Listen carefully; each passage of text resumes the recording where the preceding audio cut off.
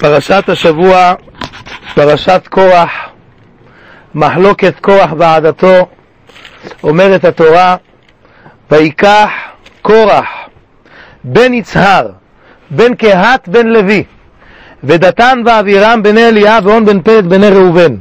ויקומו לפני משה והאנשים בני ישראל חמישים ומאתיים נשיא העדה קראי מועד אנשי שם.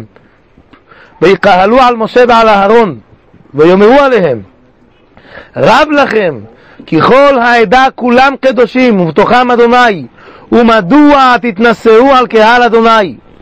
וישמע משה ויפול על פניו, וידבר אל קורח, ואל כל עדתו לאמור, בוקר, ויודע אדוני את אשר לו ואת הקדוש והקריב אליו, ואת אשר יבחר בו, יקריב אליו. הפרשה הזאת, רבותיי, פותחת בעניין של קורח. מצינו כמה וכמה פרשיות שזכו אנשים שנקראו פרשה על שמותם בתורה. הראשון נוח, זה פרשה שנייה שבחומש בראשית. אחר כך יתרו, הפרשה החמישית שבספר השני, ספר שמות. אחר כך קורח ובלק ופנחס בעוד הפרשיות הבאות להלן קורח, חוקת, בלק ופנחס. ביחד יוצא לנו חמישה, חמישה אנשים שזכו שתיקרא פרשה על שמם. למה קורח נקראת פרשה על שמו?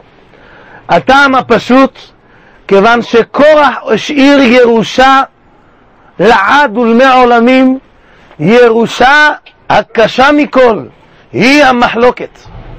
עליה אמר רש"י בתחילת הפרשה, ויקח קורח פרשה זו יפה נדרשת במדרש רבי תנחומה. מה רש"י רוצה? מדרש רבי תנחומה? תאמר את זה בכל פרשה, מדרש תנחומה נמצא על כל חמישה חומשי תורה. אלא כאן בא קורח והשאיר ירושה שהיא ירושת המחלוקת, שבכל דור ודור, בכל שלב ושלב, בכל קהילה, בכל מצב, בכל בית הכנסת, בכל משפחה, תמיד קורח בא ומחרחר ריב ורוצה לבחוש בקדרה של המחלוקת. לכן פרשה זו נקראת פרשת קורח, כיוון שהיא לא פרשה שנכתבה רק לאז, אלא היא לעתיד גם כן, שקורח הוא לעולם העניין שלו של המחלוקת. לכן אמר, פרשה הזאת נקראת קורח. וכאן צריכים להבין כמה וכמה דברים. דבר הראשון, מה זה ויקח קורח? מה הוא לקח? ואם תאמר שויקח זה מלשון מקח, אז מהו דבר, מה איזה סחורה הוא קנה? כבר רבותינו בגמרא בסנהדרין בתעמוד ב' שאלו את השאלה הזאת. ואמרו ויקח קורח מלמד שלקח מקח רע לעצמו. מה זה המקח רע? זאת אומרת, הוא עשה פה איזה סחורה, איזה סחורה הוא עשה כאן? מה הוא קנה? מה הוא התמקח? מה זה ויקח קורח? דבר שני צריכים להבין למה נסמכה פרשת קורח לפרשת הציצית. סוף פרשה הקודמת למדנו על פרשת הציצית ועשו להם ציצית על כנפי בגדיהם. העניין של התכלת, מה הקשר בין פרשת הציצית ועוד קודם לכן פרשת המקושש לבין פרשת השבוע, פרשת קורח, מה הקשר בין הדברים? ושאלה שלישית צריכים להבין מה הסיבה שקורח חולק על משה רבנו? מה יש לך ממשה? ואם הוא חולק, למה מודגש בתורה ויקח קורח בן יסר בן קהת לוי? למה ויקח? למה לא ויקחו? הלא לא רק קורח חלק, אלא איתו היו 250 ראשי סנהדראות. אז היה צריך לומר בלשון רבים, ויקחו קורח ודתן ואבירם בן אליאב ואון בן פלט בן ראובן. למה אמר ויקח לשון יחיד ולא לשון רבים? ועוד, כשכתוב אצל נשיאי העדה, כתוב אצלהם ויקהלו על משה ועל אהרון. ואילו אצל כוח כתוב שהוא בא לפני משה. מה ההבדל? למה פה לפני משה וכאן לפני משה ואהרון? משמע מכאן שבני אהרון, בני הראובן, כל אותם 250 ראשי סנהדראות, היה להם ויכוח כנגד מי? כנגד משה ואהרון. ואילו קורח היה לו מחלוקת ושאלות אך ורק על משה, מה היה סוד הוויכוח שלהם, על מה הם נחלקו שם. אז האמת, יש פה רמז נפלא, קורח, יצהר, קהת, לוי, ראשי תיבות, מה הגימטריה יוצא? קורח, קוף, מאה. יצהר יוד, מאה ועשר. קהת, עוד מאה, יש לנו 210. לוי, למד, 240. אז אמרנו שזה גימטריה ביחד 240. כמה גימטריה של 240? עמלק. עמלק, מה היה הכוח שלו? ראשית גויים עמלק, שהוא היה העניין שלו גאווה. גם קורח אמר מדוע תתנשאו? זאת אומרת, היה אכפת לו למה אהרון הכהן קיבל כהונה גדולה, ואחריו משה רבנו קיבל מלוכה, ואליצפן בן עוזיאל מקבל את ה... כן, מקבל נשיאות. הלוא אני בסדר, זה קיבל אחד, אני אחריו השני. אני בנו של יצהר. מה זה בנו של יצהר? יצהר זה שמן. מה השמן צף למעלה ולא מתערב עם כל המשכין, אומר קורח, גם אני הייתי אמור לקבל מלוכה. אהרון קיבל כהונה, אין לי איתו בעיה. אני, יש לי בעיה, למה אני לא קיבלתי את המלוכה? למה משה רבנו נהיה למלך? אבל בני ראובן, הם ה-250 ראשי סנהדראות, למה ראשי סנהדראות? כי הם בכורים, והלא עבודה במי הייתה צריכה להיות? אצל הבכורים. אלא הפסידו הבכורים את הדבר הזה, ולמי הלכו? והלך לכהנים. אז לכן אותם דווקא 250 ראשי סנהדראות. למה ראשי סנהדראות דווקא? כי על מה הם מתמקחים איתו? על הבכורה. כיוון שהם מתמקחים עם אהרון על בכורה, לכן הם אומרים, אלה ויקהלו על משה ועל אהרון. קורח מתנחלק על משה רבנו כי הוא רוצה את המלוכה של משה. ואילו 250 ראשי סנהדראות, שכולם היו בכורים, הם באים לאהרון ואומרים לו, העבודה הייתה צריכה להיות לנו, למה אתה לקחת את זה בשביל עצמך? זאת אומרת, הייתה פה מחלוקת של משה, אה, מחלוקת על משה ועל אהרון, קורח ועדתו, כל אחד ואחד היה לו משהו אחר. קורח היה לו בעיה עם משה רבנו. עם אהרון הוא הסתדר, לא היה לו בעיה על אהרון. אבל משה רבנו, וכל הוויכוח שלו היה על משה, אבל שאר עדתו, שהם 250 ראשי סנהדראות, שהם בכורות, הם באים ומתווכחים כנגד אהרון הכהן, שלמה אהרון מקבל את הבכורה ולא הם. זה היה פה הוויכוח בין שני, ביניהם, בין אחד לשני. אחר כך אז צריכים להבין פה מה זה ויקח, מה הוא לקח, איזה דבר הוא לקח. ועוד צריכים להבין פה מה העניין הזה שהוא מלביש אותם טליתות של תכלת? הוא לוקח 250 ראשי סנהדראות ושם לכולם 200, 200 שם לכל אחד טלית שכולה תכלת עם ארבע כנפות בלי ציציות ובא ושואל אותו, את משה רבנו, תגיד לי משה, האם הטליתות האלה חייבים בציצית או לא? מה העניין שאתה מלביש אותם 250 ראשי סנהדראות טליתות של תכלת. מה צריך להלביש אותם? אם יש לך שאלה עליו בהלכה, אם טלית של תכלת חייבת בציצית או לא, תשאל אותו את השאלה בפני עצמה. זה כמו שלא לקח את משה רבנו לבית מלא ספרים. מה העניין שהוא מלביש להם את הטליתות? משמע שאם קורח הלביש, היה פה איזה עניין. למה הוא מלביש להם את הטליתות? אם יש לך שאלה למשה, תבוא תשאל אותו. משה רבנו, למה טלית של תכלת חייבת בציצית? אה, למה אם טלית של תכלת חייבת בציצית או לא? בשביל מה הוא צריך להלביש אותם גם? ועוד, צריך להבין פה למה כתוב פה ויקח קורח בן יצהר, בן קהת, בן לוי, כתוב פה את הדורות שלו, ואילו מי היה אבא של לוי? יעקב אבינו. אז למה לא כתוב גם בן יעקב? אז אם תשימו לב, קורח, יצהר קהת לוי אמרנו, מה ראשי תיבות גימטריה? עמלק. שפה היה לו בעיה של עמלק. אם נוסיף גם יעקב את הראשי תיבות של יעקב, את האות שלו, יוד, מה יצא לנו ביחד? 250 ראשי סנהדראות. התבייש, אומרת הגמרא בסנהדרין קט עמוד ב'. למטה, התבייש יעקב אבינו עליו השלום, ואמר בסודם אל תבוא נפשי. אומרת הגמרא שם, שיעקב אבינו ביקש מהקדוש ברוך הוא ואמר, בסודם אל תבוא נפשי אלו מרגלים, בקהלם אל תחת כבודי, זה עדת קורח.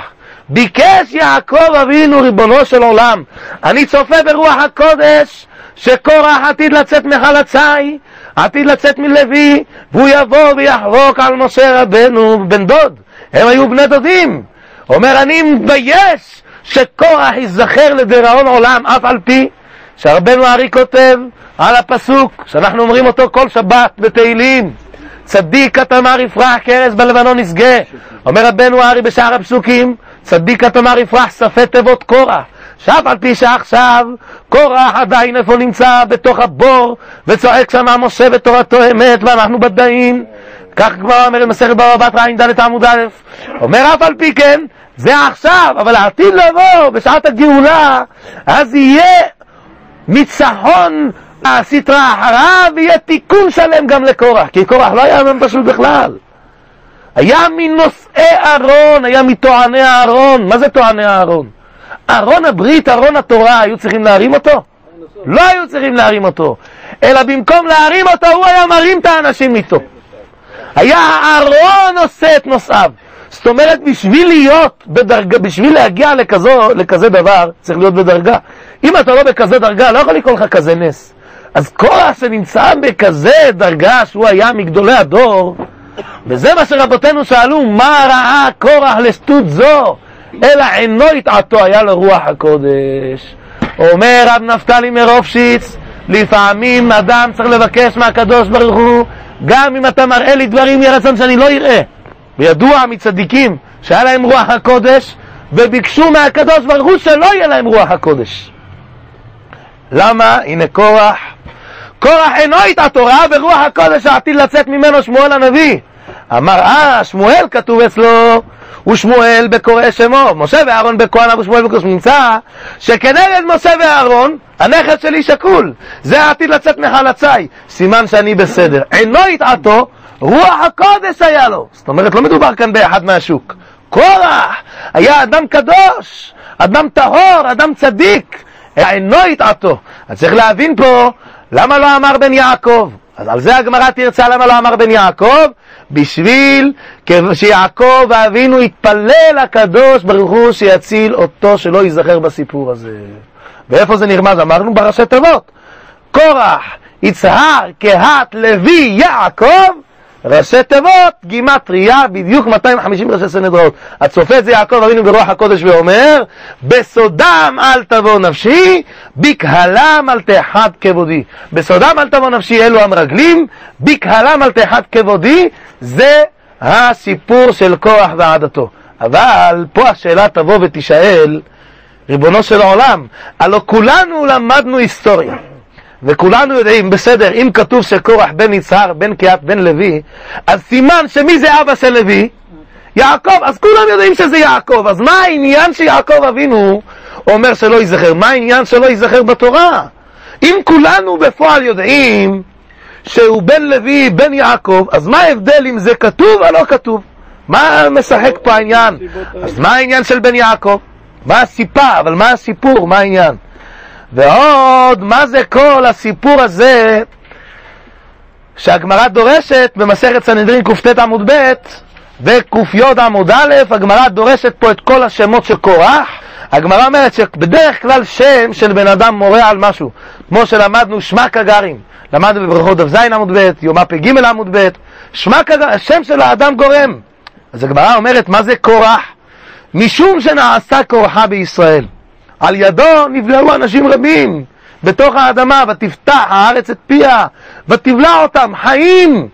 המדרש כותב שלא רק הם הלכו חיים, וגם כל מחט שהיה באיזה בגד של מישהו שהשאילו לו פעם איזה, לתפור איזה בגד, אלא גם כל חותמת ביקשו ממנו, תחתום לי על הצ'ק, תחתום לי על איזה משהו, גם זה שהוא חתם, אותו הדיו, אותו מה שהיה שם, אותו דבר, צ'ק, הלך לאיפה? לתוך האדמה.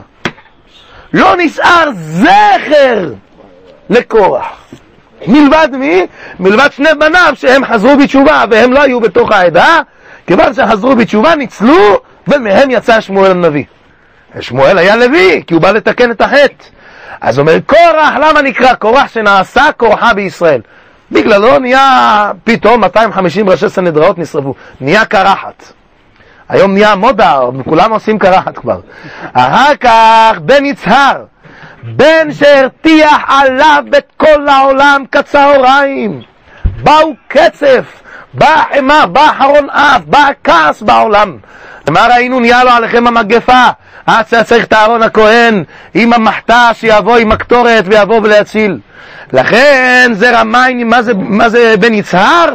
יצהר מלשון צהריים, כמו צהרי היום. אז הוא הרתיח את כעסו, הרתיח עליו את כל העולם כצהריים. מה העניין בזה? אלא הפירוש הוא כי צהריים בדרך כלל יש שעה ששם שווה השמש בכל מקום.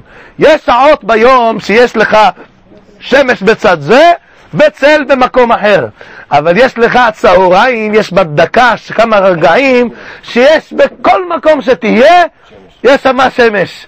באה השמש בצהריים. לכן אמר בן יצהר, בן שהרתיח עליו את כל העולם כולו צהר, כצהריים. שמה הוא עשה? כמו הצהריים שיש שעות שוות, שהכל שווה, שבשעות האלה כל השמש שווה, כך אמר משה, כך אמר קורח, למה אתם, מדוע תתנשאו? למה אתם תהיו מעלינו? הרי כולנו שווים. ראתה שבחה על הים, אומר המחילתא בפרשת בשלח. כולם ראו שמה מראות אלוהים. אתם יצאתם ממצרים, אנחנו יצאנו ממצרים. לכם האניסים, גם לנו האניסים. לכם הפלאות, גם לנו הפלאות, אנחנו אותו דבר. וכי כל העדה, כולם קדושים. אז אם התורה אומרת כולם קדושים, אומר קורח בן יצהר. למה בן יצהר? כמו השמש בצהריים שהיא שווה, השמש בכל מקום, אותו דבר אמר קורח, אותו דבר כל עם ישראל, אין הבדל בין משה ואהרון לבינינו, כולנו אותו דבר. אחר כך בן קהת, בן שיקהה שיני מולידיו, אבותיו התביישו, כמו אף אתה קהה שיניו. ועוד מעט גם על זה נעמוד. ובן לוי, בן שנעשה לוויה בגיהנום. אז זה על בן קורח, בן יסר, בן יקת, בן לוי. אומרת התורה, ודתן ואבירם. אומרת הגמרא, מה זה ודתן ואבירם? דתן, למה נקרא דתן? שעבר על דת אל, שהרי הוא חלק על משה רבנו, וכל החולק על רבו, כאילו חולק על השכינה הקדושה, כאילו חולק על הקדוש ברוך הוא בכבודו ועצמו. אבירם, שאיבד עצמו מעשות תשובה. לכן אמר דתן שעבר על דת אל, ואבירם שעבר, אשר לא רצה לעשות תשובה. ואון, למה און בן פלט? למה נקרא און בן פלט? ואון בן פלט שישב באנינות, הוא ישב בצער, איך אני נכנסתי לתוך העדה הזאת? איך אני נכנסתי לתוך המחלוקת הזאת של קורח ועדת? מה לי ול, ולכל זה? בן פלט, שנעשו לו פלאות, שניצל, בסוף הוא ניצל. בן, בני ראובן, בן שראה והבין. הוא בסוף הבין שמעשה קורח ועדתו הם uh, לא בשבילו. מה היה שם עם בן פלט? מספרים חז"ל, מספרת הגמרא בסנהדרין קט עמוד ב' וק"י עמוד א' ובמדרש באריכות גם כן, שבאה אשתו של און בן פלט, בא אליה בעלה, אומר לה, את יודעת מה קורה? מה? מה בוקר ויודע השם, מחר אנחנו נדע. מה קרה? מחר יש דרמה, מונדיאל. איזה מונדיאל יש? בין קורח ועדתו, בינינו לבין משה ואהרון. מה לך ולוויכוח שלהם? אני אספר לך. והתחיל לספר לה את כל הסיפור, מה שהיה ומה שקרה. שאלה אותו ואמרה לו אשתו, אמרה לו, מה יצא לך מזה שאתה התחברת לקורח? הרי אם משה רבנו יצליח בסוף במלחמה הזאת, אז יצא מפה שמה? שהוא יהיה האדון ואתה תהיה התלמיד שלו.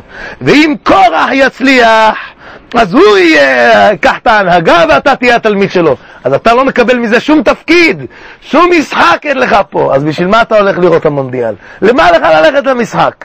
אם אתה לא מקבל שם כיסא, אתה לא יושב ביציע הראשון או השמיני או התשיעי, יש 70 אלף מקומות, אם אתה לא יושב שם באחד מהם, אז מה, אם... תראה, זה כבר בבית, בשביל מה אתה צריך להיכנס לתוך כל המחלוקת? אז אמר לה בעלה, אמר, אז אמר לה בעלה, אמר לה הון בן פלט, מה אני אעשה? מה אני יכול לעשות? אני כבר נמצא בתוך הברוך. את צודקת, את טוענת כאן טענה נכבדת. אבל אני כבר נמצא בתוך כל הסיפור. את רוצה שאני אנצל? אין בעיה. תביאי לי עצה, איך אני אנצל מכוח ועדתו? איך אומרים? לפעמים אתה סוגר עסקה עם מישהו, ואתה אפילו עוד לא סגרת איתו, אבל בגלל שאתה אמרת לו שאתה סוגר איתו, אפילו אם מחר מישהו יגיד לך, אדוני, לא משתלם לך, אתה אומר לו, מילה זה מילה, אני כבר לא יכול לחזור בי, לא נעים לי, התחייבתי לבוא לאיזה מקום, אני לא יכול. אה, אתה באמת לא יכול. אתה חולה עם 40 מעלות חום, מה אתה יוצא? לא. מילה של גבר, לא אמרת שאתה תגיד, אז אתה מגיע. זה בדיוק הייתה הטענה של און בן פלט. הוא אומר לאשתו, אשתי, מה אני יכול? את צודקת, אני לא ארוויח מהמחלוקת הזה כלום.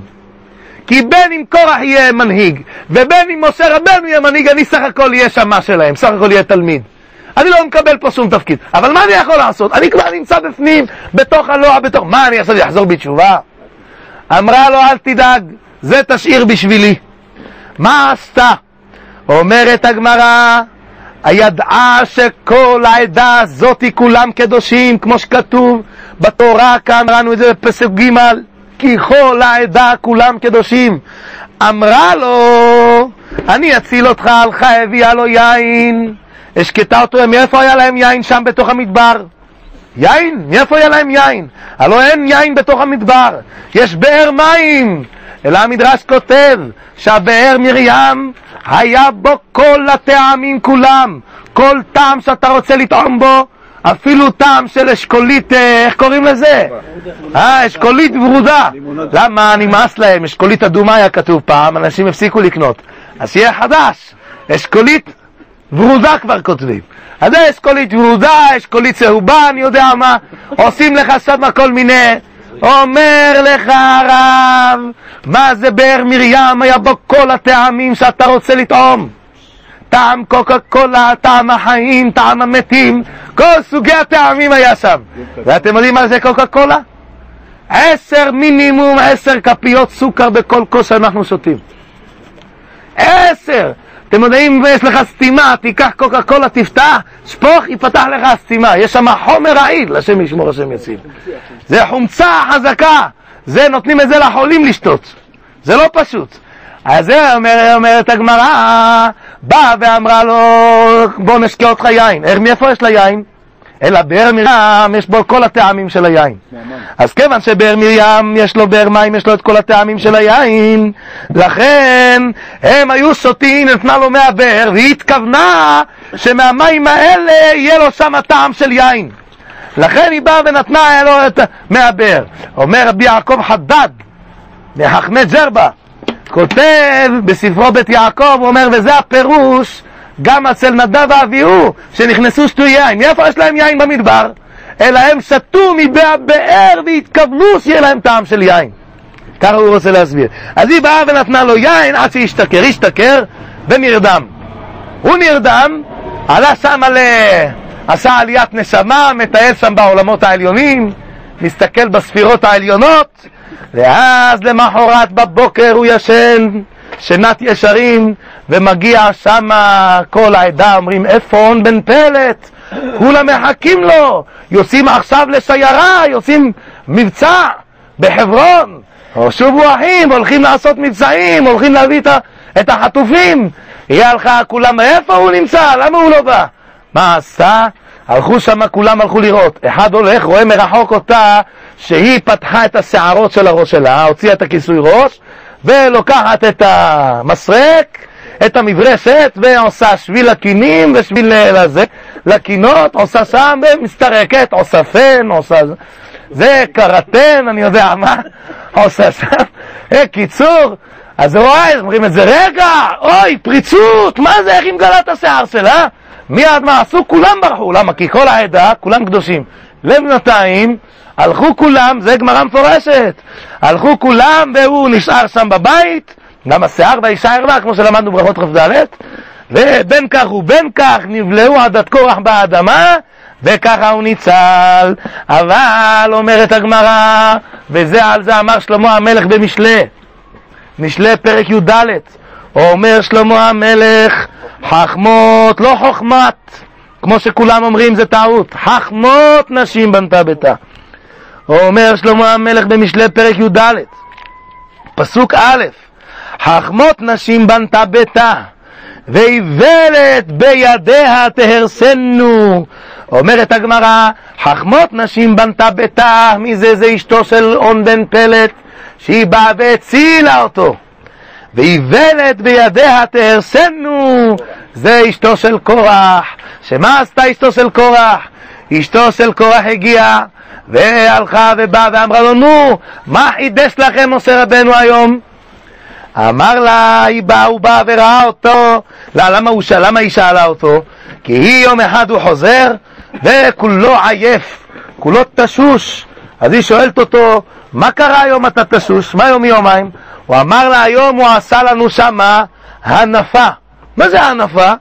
אומר, לקח אותנו והרים הוצאה לנו התעמלות, התאגרף עלינו, הרים משקולות, מרים אותנו למעלה, למטה, לצדדים, מזרח, מערב, צפון, כמו לולב, אבל לא לולב של ספרדים, לולב של אשכנזים שמנענעים אותו עד שהוא ככה נפתח, כמו שאנחנו עושים בהושענא רבה, נוהגים קצת לפתוח אותו. הספרדים נוהגים על לולב שהוא סגור בדרך כלל, יש לו קורה וזה. האשכנזים פותחים את הלולב.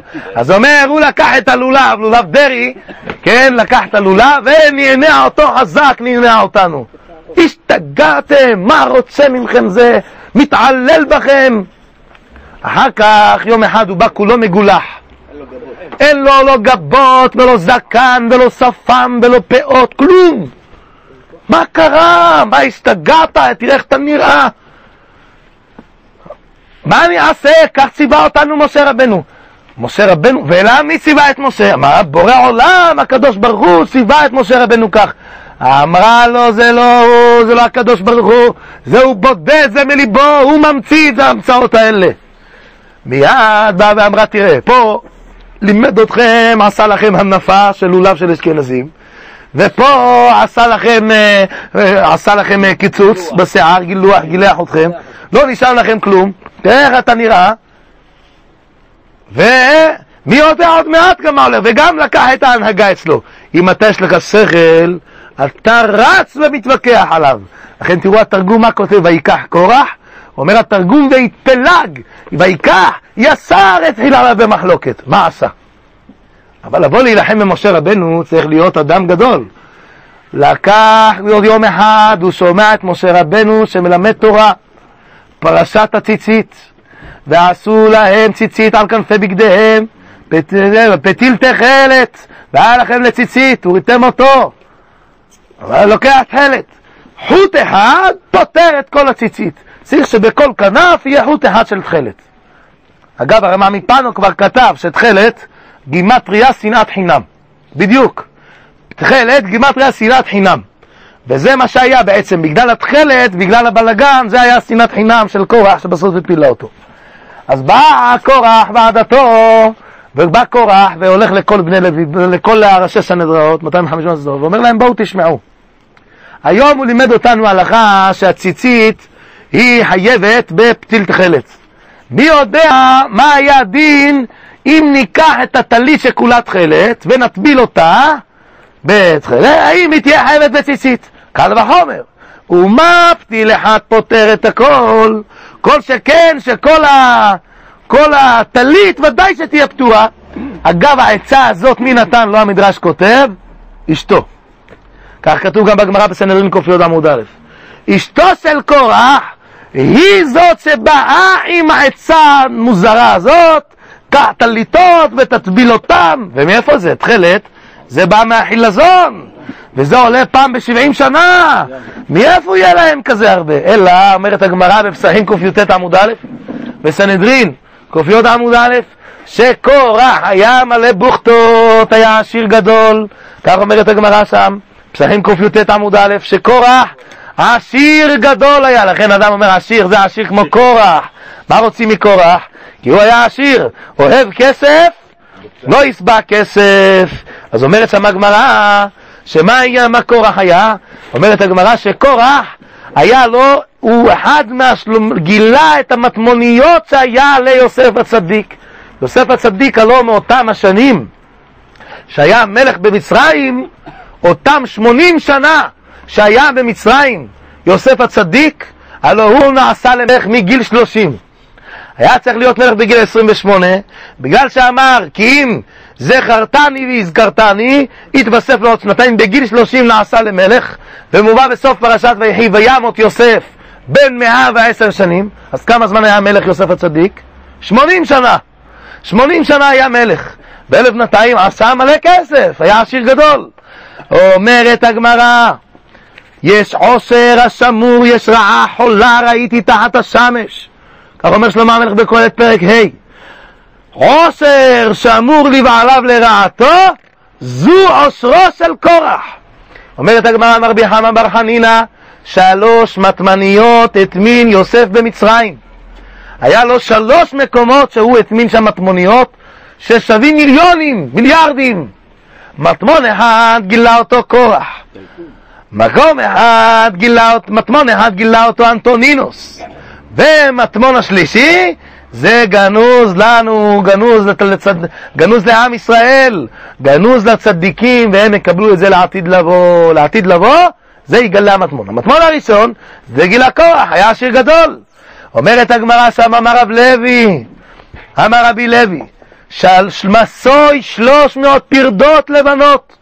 פרדות לפרדה, זה של הסוס, פרדה. אותה פרדה, סוס, חמור. אותה פרדה לבנה, לא סתם פרדה, אלא פרדה לבנה שהיא גדולה והיא חזקה. אומרת הגמרא, שלוש מאות פרדות לבנות היו לו, שרק החזיקו את המפתחות של בית גנזיו של קורח. זאת אומרת, תדע כמה עשיר היה קורח. ואיפה הכל נמצא עכשיו? הכל נמצא בתוך האדמה שבלעה אותה. כל אותם המטמוניות האלה, כל אותם השלוש מאות מפתחות, עם כל העשירות שהיה לו, הכל, איפה? הכל הלך איתו ביחד. וכולו אקלידה וכפילה וקליפה דגילדה. הכל, הכל המפתחות והמנעולים האלה היו עשויים מעורות, כן, שקים גדולים שלוקחים אותם החמורים, הגמלים.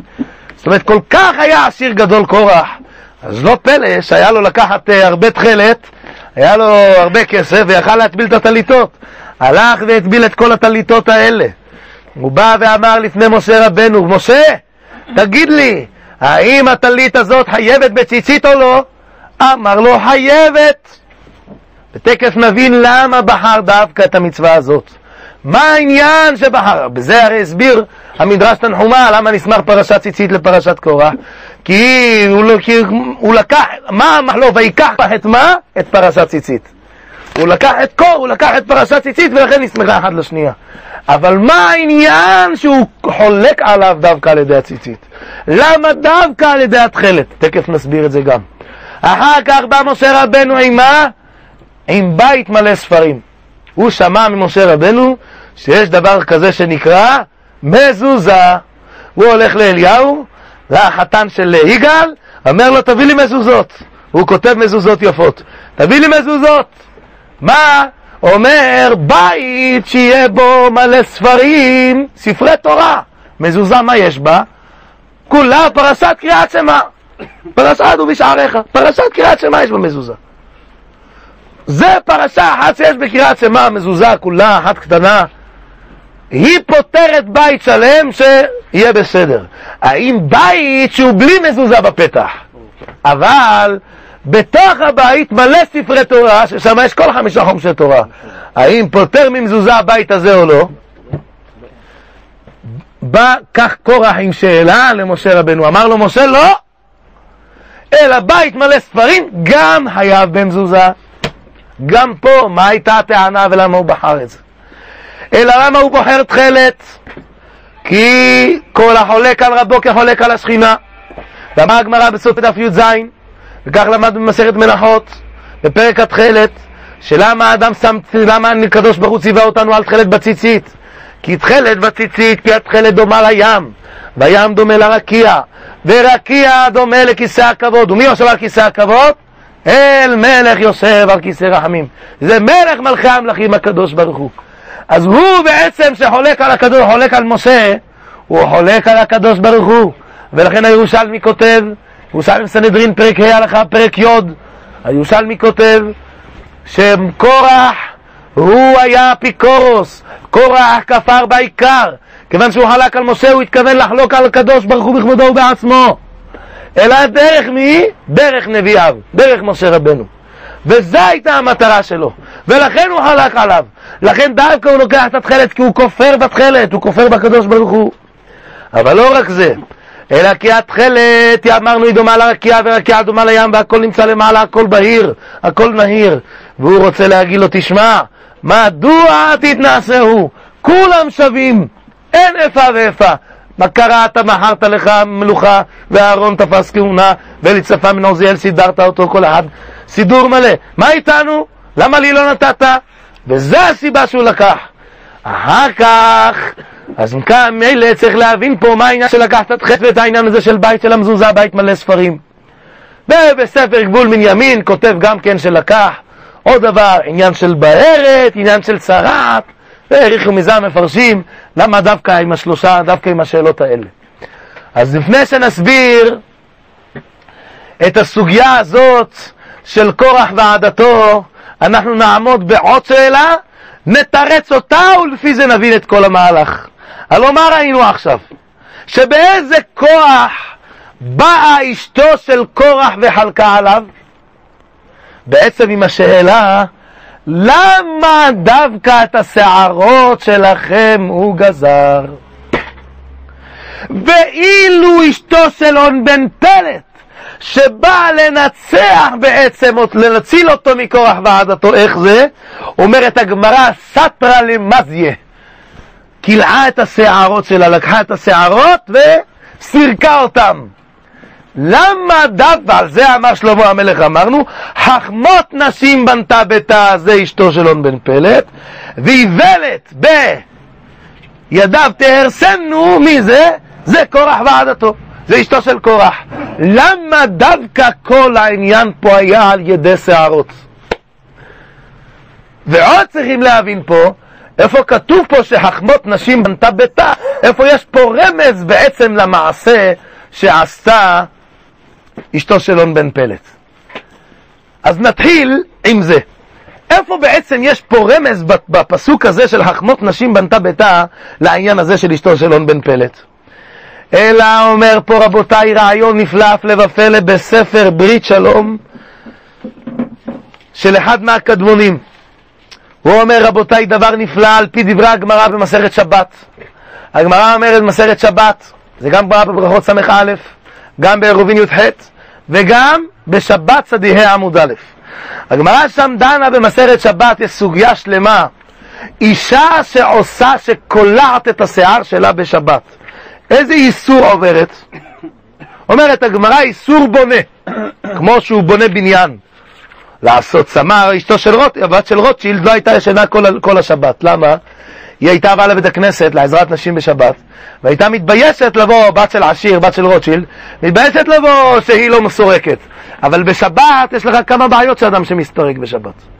תלישה. גם בעיה של תלישה, וגם בעיה של בנייה אם הוא או עושה צמא או קוקו או כל עניין שהוא, וגם יש לך בעיה של עובדין בחול, שזה מעשה של חול שאתה עושה, ויש כמה וכמה דברים, תראו המשנה ברורה בסוף, אה, בסוף ש"ג, בשם הישועות יעקב, כותב שיש לך כמה תנאים בשביל אדם שיהיה מותר לו להסתרק בשבת. התנאי הראשון, שאדם צריך שיהיה, שהוא יודע שלא נתלש לו שערות.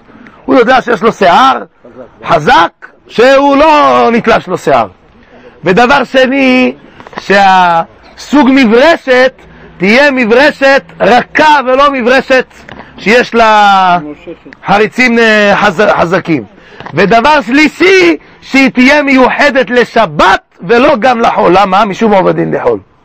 זה שלושה תנאים, אדם שרוצה להסתרק בשבת, שלושה תנאים שצריך לדעת לפי ההלכה. אז זה אומר, אומרת הגמרא, וקהלת, לכן באו הפוסקים האשכנזים, הרי לא הם עושים פאות. אז בא, הגברים אה, עושים פי סלח. אז בא אגרות משה ושאלו אותו, האם אין בזה משום בונה, הוא עושה עיגולים, האם זה לא בונה בשבת? אז הוא אמר, יש כאלה טענו שזה בונה, ויש כאלה שאמרו לו, כיוון שבין כה זה מסתלס... בכיוון שהפאות שלו כל השבוע כבר בסלסול, אפילו אחד יהיה לו שיער חלק, עם כמה שנים, כל הזמן, כמה, כל הזמן יעשה, חזק, חזק, ישים קרמים, ישים זה, בסוף יתגלגל לו. אז הוא אומר, סך הכל מה עושה? הוא יוצא מהמקווה בשבת בבוקר, הוא סך הכל מה עושה? סך הכל תופס אותו ככה, עושה לו גלגול אחד. הוא אומר, זה כבר בין כה מתגלגל, הוא סך הכל יותר רק ממשיך אותו, הוא אומר, זה לא נקרא בונה. בכל אופן, הגמרא פה בשבת צדיה עמוד א' למעלה אומרת, פוקסת משום מה חייב, מה זה פוקסת? קולעת את השיער שלה. משום מה חייבת? משום בונה. מאיפה לומדים שעדה, שאישה שקולעת את השיער זה נקרא בניין? כדדרש רבי שמעון בן מנסיה, ויבן אדוני אלוהים את הצלע. דורשת הגמרא מלמד שכלאה הקדוש ברוך הוא לחווה והביאה אצל אדם הראשון. שכן בקרחי הים קוראים לקלעיתה בנייתה. אומר, כשהקדוש ברוך הוא ויבן השם אלוהים את ה... ויבן השם אלוהים את הצלע, ברא את האישה מאיפה? מהצלע של הגבר. הפיל עליו תרדמה וברא את האישה. אומר, מה, מה זה ויבן השם אלוהים את הצלע? אחרי שהוא ברא אותה, הוא לא סתם ברור בזה, אלא הוא גם כן סידר לה הקדוש ברוך הוא כביכול, בכבודו ובעצמו עשה לה קילוע של השיער, עשה לה שיער אה, מסודר, וככה הביא אותה. נמצא שויבן אלוהים את, אה, ויבן השם אלוהים את הצלע, מה זה ויבן? בונה. זה בניין, זה נקרא, מה זה הבניין? לקלוע את השיער זה נקרא בנייה. כן? כך אומרת הגמרא בשבת צדיה עמוד א'. הוא אומר לכן, גם פה שכתוב חכמות נשים בנתה בית הלשון בניין, על מי זה נאמר? על אשתו של און בן פלט, שהיא באה ולקחה את השיער שלה, וקילעה אותו וסירקה אותו בחוץ. ולמדנו, ויבן השם אלוהים את הסלע, מפה למדו שזה לשון של קילוע השיער, שהקדוש ברוך הוא קילה את השיער של חווה, וכך הביא אותה לאדם הראשון, שהיא תהיה לו נאה, שתהיה, שהיא תמצא הן בעיניו. אומר לכן, גם פה אשתו של און בן פלט, חכמות נשים בנתה ביתה, זה אשתו של און בן פלט. עכשיו, למה היא לקחה דווקא את הדבר הזה? למה דווקא את התחבולה הזאת? למה לא תחבולות אחרות? אלא הזוהר הקדוש כותב בפרשת נשוא, בדף קכ"ו עמוד א', וזוהר בעלותך, דף קנ"א עמוד ב'. הזוהר הקדוש כותב בשתי מקומות, מעריך בזה הזוהר הקדוש, מה הזכות של אישה שמכסה את הראש שלה. איזה זכות יש לאישה, אפילו תשים כובע על הראש, אפילו משהו, אפילו חצי, אפילו בנדנה, אפילו רבע, אפילו רביע, גם יוצא את זה. שיהיה משהו אבל, איך אומרים? שיהיה ניכר. גם אם לא הרמטי, שזה הדבר הכי גדול ביותר, זה, ושתשאף בעזרת השם, אבל קודם כל שיהיה איזה משהו, שיראו כולם שהיא נשואה. יש נשים שלא מרגישים, לא יודעים, אם לא תדע שהיא נשואה, לא תרגיש. אפילו הקמטים היום יש לך כל מיני טכניקות ולייזרים ופוטוקסים ואני יודע מה וכל מיני סוגים שעושים לך. אישה בת 60 יכולה להיראות לך כבת 20 כמו שרה אימנו בת קוף כבת כף. אז זה אומר הזוהר הקדוש פרשת נשוא. תשמע מה אומר הזוהר דף קכ"א עמוד ב' קכ"א עמוד א' אומר הזוהר הקדוש תראה מה המעלה של אישה ששמה כיסוי ראש. אומר הזוהר הקדוש טומבה לתעלה וברנש, חס ושלום שיגעון על הגויים, יבוא על אדם דשבק לאינטטה דתתחזה משערה דרשא לבר. מי שנותן לאשתו ללכת עם שיער בחוץ. חס ושלום, שלא ישתגע בסוף. כך אומרת הגמרא, זה אומר הזר הקדוש. אומר, ודאו חד מעינון צניעותא דביתא. אומר, אחד מהיסודות הגדולים של בניין הבית, זה כאשר האישה מכסה את הראש. ברוך השם, יש פה נשים צדקניות אצלנו בשיעור, שברוך השם משתדלות לכסות הראש, ויש כאלה, בעזרת השם עוד יוסיפו גם. אומר הזוהר הקדוש, ואיתתא דאפיקת משערה דרשע, אומר חס ושלום אם אישה לא מכסה את הראש שלה, אלא היא מתייפה ומתקשטת בשיער. גרים מסכנותא לביתה, היא גורמת חוסר פרנסה לבית, הבעל עובד, מצאת החמה צאת הנשמה, עובד קשה, עשרים אלף חודש, היא מביאה עוד עשר, שלושים, בסוף החודש מינוס לשניהם בבנק. איך יכול להיות? אומר הזוהר הקדוש, בגלל שהיא לא מכסה את הראש. ולא רק זה, וגרים לבנה דלא יתחשבון בדרה. אומר, הבנים שלה בחברה לא כל כך יהיו חשובים, לא יתייחסו אליהם. למה? כי היא לא שומרת על השערות. אם היא שומרת על השערות, שזה במלכות, שזה בחינת הדין, שיער זה דין. כן, ותכף לפי זה תבין גם למה בני לוי, ולפי זה תבין כל העניין של קורח. עוד רגע תראו איזה דבר נפלא אומר הזוהר הקדוש. אומר הזוהר הקדוש, וגר עם מילתא ערד אשריה בביתה. אומר חס ושלום, רוח דמסה והרוח אטומה חס ושלום שורת בבית. מי גורם לכל זה? אותו השיער שמתגלה מראשה לחוץ. אומר, ומכל שכן, אם זה בשוק, אם זה בחוץ וכולי. אומר, ועל זה אמר דוד המלך עליו השלום בתהילים, אשתך כגפן פוריה. פוריה בירכתי ביתך. אומר הזוהר הקדוש, מתי פוריה, בירכ... מתי פוריה? כשבירכתי ביתך. אם היא שמה, מכסה את השערות, אז היא זוכה לירכתי ביתך, אמר רבי יהודה. שערא דרשא דאיתתא דאיתגליה, שערות של ראש של האישה הן מתגלות, גרים שערא אחרא להתגליה, חס ושלום, גורם לכוחות של הדינים להתגלות. ולא רק זה, אלא גם פוגם, פוגם בזה. לכן האישה צריכה להיזהר בזה יותר.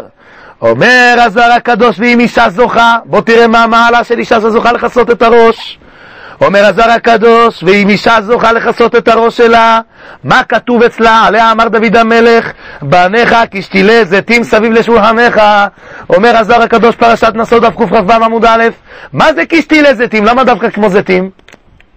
בגלל שבמרר יש הרבה זיתים? למה כשתילי זיתים? אומר הזוהר הקדוש, כי הזית תמיד לא נושרים ממנו העלים, בין בחורף בין בקיץ תמיד הוא חזק, עץ חזק, תמיד ירוק. הוא אומר אותו דבר, כך הבנים שלה, אם, זת, אם היא זוכה לכסות את שערות ראשה, היא זוכה שהבנים שלה תמיד יהיו חשובים, איפה שהם יהיו, תמיד יצליחו. ולא עוד, לא רק זה, אלא דבעלה מתברך בקולה. כל הברכות כולה בעלה מתברך בזכות שהיא. מכסה את הראש. איזה ברכות? אומר הזוהר הקדוש, בברכה דלעילה ובברכה דלתתא. גם ברכות גשמיות, שיהיה לו מאפלוס, גם ספע פה, גשמי וגם רוחני, גם רוחניות, גם למעלה. אומר עד ההוא דכתיב על זה, וגם יזכה בעוטרה בעשירות, בבנין ובבני בנין. יהיו לו בנים ויהיו לו נכדים גם. אומר על זה אמר הפסוק, הנה כי כן יבורך גבר, ירא אדוני, הוא יברכך אדוני מציון, וראה בטוב ירושלים כל ימי חייך, וראה בנים לבניך שלום על ישראל, היינו ישראל סבא קדישה. זה זוהר נשוא דף קכ"ה עמוד ב' קכ"ו עמוד א'. ממשיך הזוהר ואומר בבעלותך, בדף קנ"ו עמוד ב', קנ"א עמוד ב', אומר הזוהר הקדוש, אישה שזוכה לכסות את, הש... את השיער, אומר, מה העניין של בני לוי? למה בא משה רבנו ועשה להם קרחת? למה הוריד להם את השיער? אלא כי הכהן, אהרון, הוא בחסד, הכהנים הם בחסד. ואילו הלוי הוא בגבורה. הלוויים הם uh, בדרך כלל, לכן תראה, אין הרבה לוויים בבית הכנסת בדרך כלל. קשה למצוא אותם. אלא אם כן אתה נמצא או עם כורדים, או אצל האשכנזים, למה לכורדים יש מלא לוויים, ולאשכנזים יש מלא לוויים. שאר העדות, בקושי אתה מוצא אחד בבית הכנסת, יש פתגם, שאומר, יש פתגם שאומר בפצוניסאים כולם כהנים. יש שם פתגם שאומר אצל בבתי כנסיות בירושלים, יש מלא בתי כנסיות, אין שם אפילו לוי אחד. לא בחול, לא בשבת, ביום כיפור אתה צריך להשאיל לוי מבית הכנסת אחר. אז אומר לך הלב, כשהמוכר מוכר את העליות לתורה, אז הוא אומר לך, כהן, מגיע ללוי, לוי הלך לאבי. כן, ככה אומר שם הגבאי, אומר למה לוי כסה? הוא אומר לוי הלך לאבי. אז זה תמיד שם הכהן בדרך כלל עולה שתיים.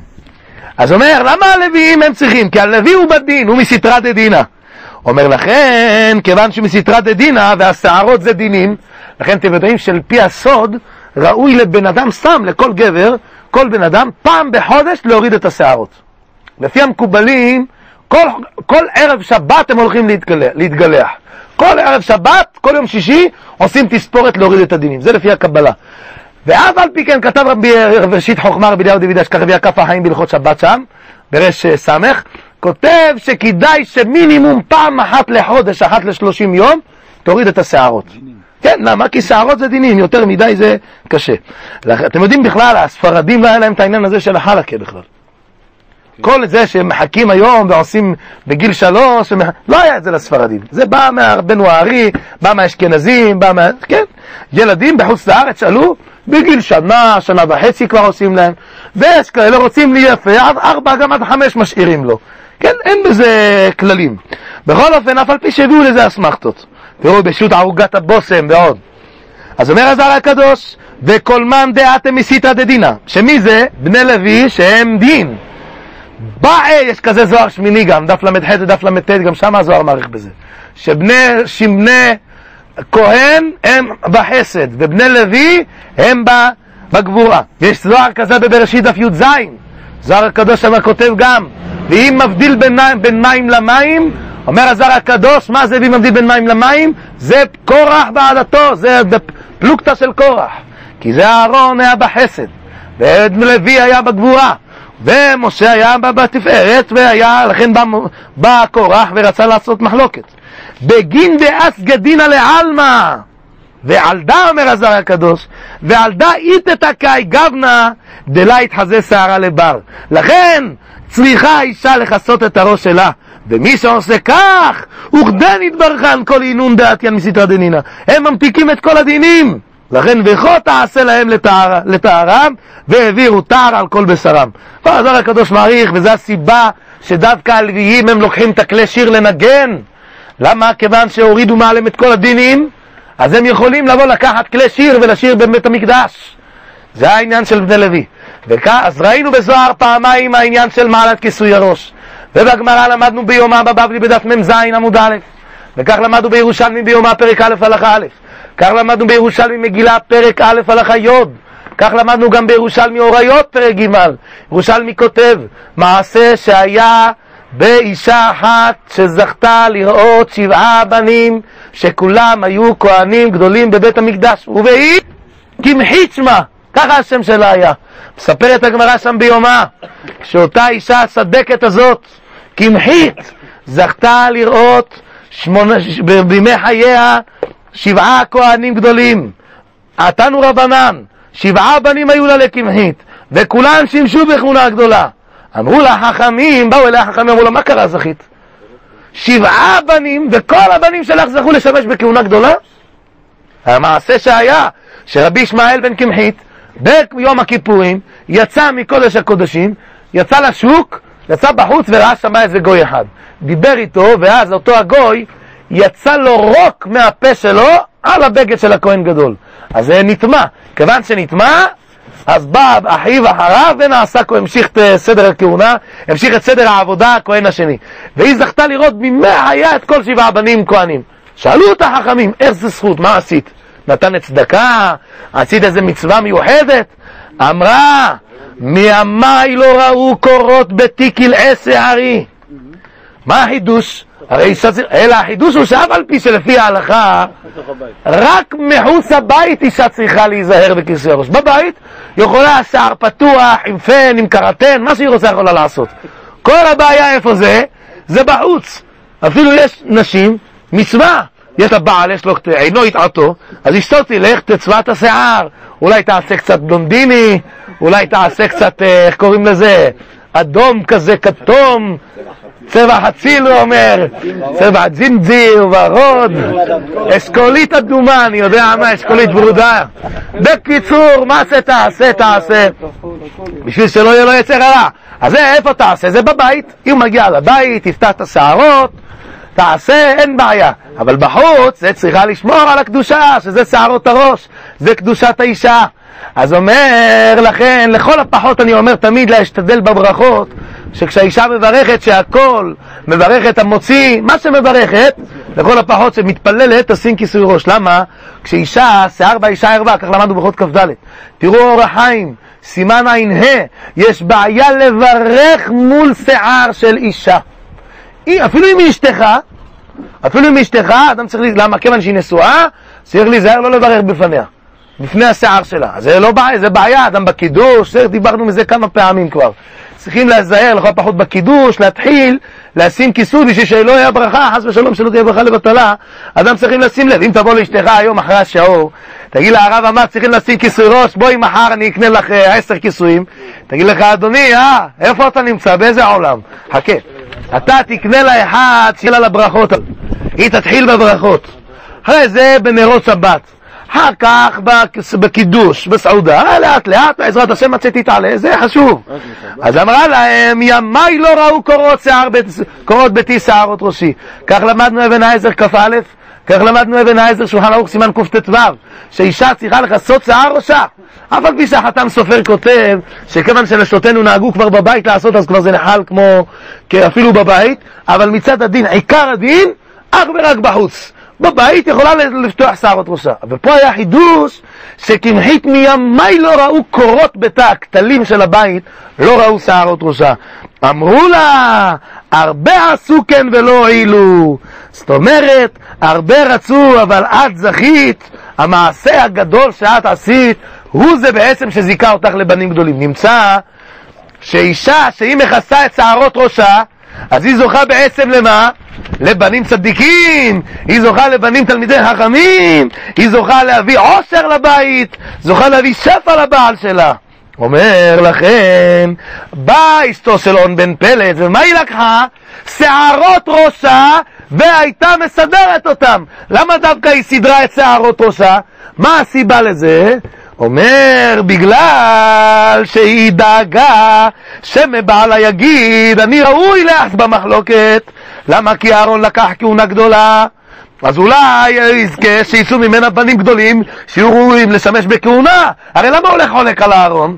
אולי יצא ממני בנים שיהיו ראויים לשמש בכהונה גדולה. אבל היא מה עושה? פותחת את שערות ראשה. עכשיו, מי שסוגר את השער, אישה שסוגרת את השערות זוכה לבנים תלמידי חכמים. ואם לא, אז היא לא תראה ילדים אה, שישמשו בכהונה גדולה. אז היא רוצה בעצם, אשתו של און בן פלט, למנוע אותו ממחלוקת בקורח ועדתו, ולכן היא פותחת את שערות ראשה. הנה, כיוון שאני פתחתי את השערות, כבר אני לא אזכה לבנים תלמידים, כבר היא לא תזכה לבנים תלמידי חכמים. היא לא תזכה לבנים כהנים גדולים. וממילא, בשביל מה לך ללכת ולהתווכח עם קורח? וזה הסיבה שהכל פה היה על ידי שערות.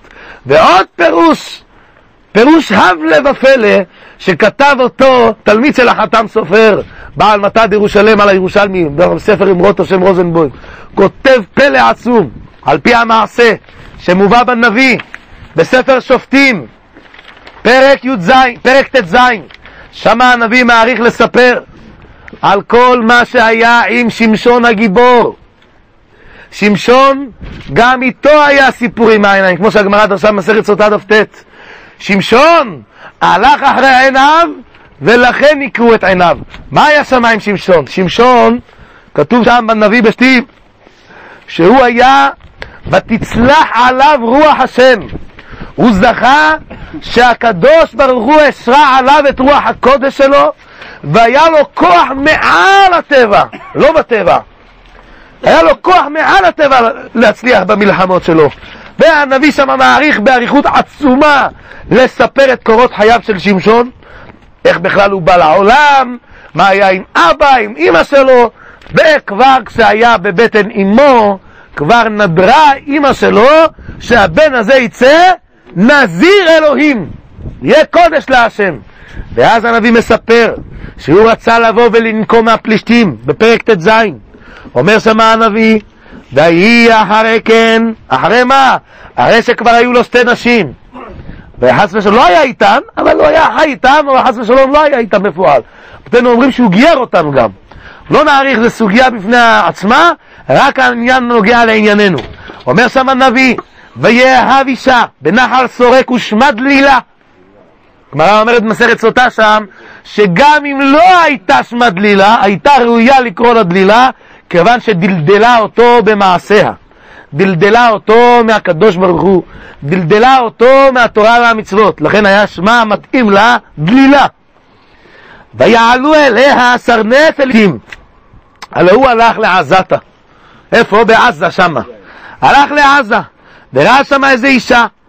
ובא שמשון, בא אז ותבוא אליה לעזתים לאמור, בא שמשון הנה, ויסובו ויערבו לו כל הלילה בשער העיר. ויתרחשו כל הלילה למורד אור הבוקר והרגנו. הם חיכו שם כל הלילה, אבל הוא מה עשה? במקום לקום לפנות בוקר, הוא קם בחצות הלילה, הוא היה צדיק, קם בלילה להגיד תיקון חצות. אז הוא קם, שמשון הגיבור קם בחצי הלילה. כיוון שקם, בא שם ל... לשערי העיר, או לשערי העיר סגורים, מה עשה? הרים את זה ב... בידיו, ושם את זה על גבותיו. הגמרא אומרת, 60 אמה רוחבו היה. 30 מטר, כל כך שמשון הגיבור היה כזה גדול. 30 אמה, של- 60 אמה, 30 מטר היה, הרוחב שלו. ולקח את זה וישם על כתפיו, ויעלם אל ראש ההר אשר על פני חברון. זה מהלך של יממה אחת, אז כל כך היה גיבור. ואז הגיע שמה, ראה את, את אותה אישה דלילה, ונכנס לו אהבה, אהב אותה. ותאמר לו, ובאו אליה, באו הסרני פלישתים, באו כל השרים, אמ- אמרו, אנחנו שמענו ששמשון הגיבור אצלך, לכי תפתי אותו ותשאלי אותו איזה כוח יש לו, האם זה שהוא נלחם ומצליח כל כך במלחמה, כמו שכתוב לפני כן בפרק הקודם, שהוא לקח שם לחי של חמור טרי והלך והיכה בזה שלושת אלפים איש במכה אחת. אה, ויאמר שמשון, בלחי החמור, חמור חמורותיים, בלחי החמור הכיתי אלף. אלף איש לקח, בלחי של חמור היכה ברגע, היה גיבור. האם זה בטבע? האם יש לו איזה משהו שהוא בטבע? ואז ממילא אנחנו יכולים להילחם, אה, להילחם איתו, או אם זה מעל הטבע ואנחנו לא יכולים להילחם איתו. ככה כל יום היא הייתה באה ומפתה אותו. אומרת לו, אתה אוהב אותי? אם אתה אוהב אותי ואתה מביא לי, אה, כן, כוס עם אה, תמונה של לב אה, וזה, ואתה מביא לי כל מיני דברים, אז אתה תגיד לי, מה הכוח שלך? איך אתה כל כך מצליח במלחמות? ותאמר דלילה אל שמשון, ומה הבטיחו לה? הבטיחו לה שכל אחד יביא לה אלף ומאה כסף. כל אחד תהיה, בקיצור, מיליונרית. אז היא בשביל כסף מוכנה, הכל וגם שנאת ישראל, הייתה מוכנה גם למכור את שמשון בעלה. אומר הנביא שם, ותאמר דלילה אל שמשון הגידה נא לי במה כוחך הגדול ובמה תיאסר לענותיך. באיזה צורה, אם אני ארצה פעם, אם ארצה לענות אותך, לאסור אותך, והיא כביכול אומרת לו את זה בהומור, לא שבאמת אני מתכוונת, כי אם באמת הייתי מתכוונת למסור אותך לפלישתים, ודאי שלא הייתי אומרת לך את זה. זאת אומרת, היא באמת, אה, כן, ואילו חזה מזלחה, היא באמת כוונה למסור את זה לפלישתים. ואז הוא נתן לה שלוש סימנים. סימן הראשון נתן לה שיקחו שבעה יתרים לחים ויעשו לה את זה. ואז הביאו לה את זה סרני פלישתים והיא באה ואמרה לו, שמשון, הגיעו הפלישתים, והוא ברגע אחד התיר אותם. אז היא אמרה לו, אה, אתה עושה ממני לעג וקלס, אתה לא אוהב אותי, אתה עובד עליי. אמרה לו כך, ותאמר דלילה אל שמשון, הנה הטלת בי ותדבר אליי כזבים. אתה אגיד אני לבמה תיאסר. תגיד לי, מה כוחך? ואז הוא אמר לה, תיקחי אבותים חדשים שלא עשו בהם מלאכה, ותאסרי אותי שבע פעמים, ואז תראי. שוב הוא בא ועשתה את זה, ואמרה לו, באמצע השנה, שמשון, הגיעו הפלישתים, מיד ברגע אחד, התיר אותם, ואמרה לו, הנה, שוב הטלת בי. אז אמרה לו, אמר לה, אם אתה, אמרה לו, אם אתה אוהב אותי, תגיד לי מה, מה, איך אני אאסור אותך. ואז אמרה, אמר לה, ויאמר אליה, אם תהרגי את שבע מחלפות ראשי עם המסכת. ואז שוב עשתה את זה, ואמרה לו, הנה שמשון הפלישתים בחוץ, שוב הוא הצליח גם להתיר. זאת אומרת, שלוש סימנים נתן לה, ולא הצליחה עליו. ותאמר היא אומרת, אומר זה, אומרת, אומר הנביא, ותאמר אליו, איך תאמר אהבתיך וליבך אין איתי? אתה אומר, אני אוהבת אותך? אתה אומר, אתה אוהב אותי, אם אתה אוהב אותי, למה אתה לא מגלה לי מה שם? גלה לי. ויהי ותאמר אליו, איך תאמר אהבתיך וליבך אין איתי? זה שלוש פעמים הטלת בי ולא הגעת לי במה כוחך גדול? מספר הנביא ויהי כי הציקה, כי הציקה לו בדבריה כל הימים, ותאלצהו ותקצר נפשו למות. וכאן הגמרא מביאה כמה פירושים, מה זה ותקצר נפשו למות? שהעד אומר שבזמן שהם היו ביחד together, אז היא לא נתנה לו וזה וכולי, יש כמה דעות בגמרא, מה זה? זאת אומרת, לא ותקצר נפשו למות, לא הייתה מוכנה, כן, הוא היה מוכן למות, למה לא נתנה לו לעשות את רצונו? ואז גילה לה, מה גילה לה? ויהי ויגד לה את כל ליבו, ויאמר לה, מורה לא עלה על ראשי, מעולם לא גילחתי את שערות ראשי, כי נז... ולא סתם, אני לא סתם נזיר, כי נזיר אלוהים אני מבטן אימי. כבר, אני לא נזיר רגיל, אלא אני נזיר שמשון, כמו שכתוב בגמרא בנזיר בכ"ד שם בהתחלה. סוגיה שלמה, מה זה נזיר שמשון? שכבר מההתחלה קיבל עליו נזירות. אם, גילה, אם גולחתי ושר ממני כוחי, וחליתי והייתי ככל האדם. הכוח שלי זה שערות ראשי.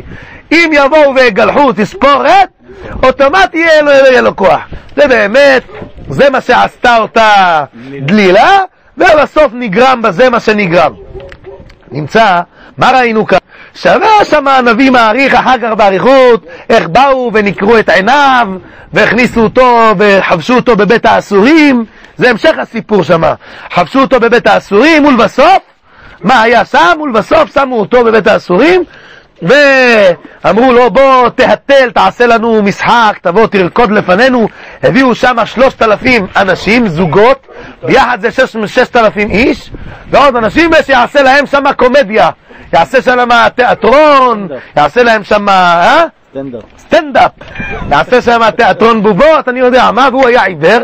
הוא היה שם איתו, זה הנער שהיה מוליך אותו, אז אמר לו שמשון, קח אותי איפה יש את הקורות של הבית, תן לי את העמודים רק להישען עליהם, אני עייף, רוצה להישען.